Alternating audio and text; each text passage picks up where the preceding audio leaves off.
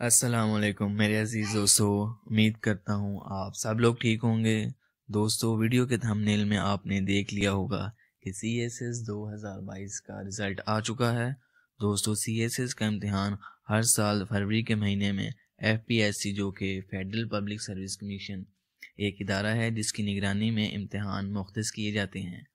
और इस इम्तहान में हर साल पूरे पाकिस्तान से तलबा और तलबा शरीक होते हैं और इसका रिज़ल्ट छः से सात माह के बाद आता है। फरवरी के महीने में होने वाले इस इम्तहान का result F P S C ने अपनी वेबसाइट पर शाया किया है, जिसमें बत्तीस हज़ार और कुछ बच्चों ने अप्लाई किया।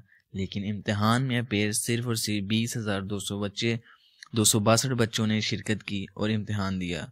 और इन बीस हज़ार दो दो सौ बासठ में से पास होने वालों की तादाद सिर्फ़ और सिर्फ़ तीन सौ तिरानवे, जो कि कुल का एक इशारिया चौरानवे फ़ीसद बनता है। इसको आप स्क्रीन पर भी देख रहे होंगे। इस इम्तहान में पास होने वालों को मेरी तरफ़ से बहुत सी मुबारक हो। शुक्रिया।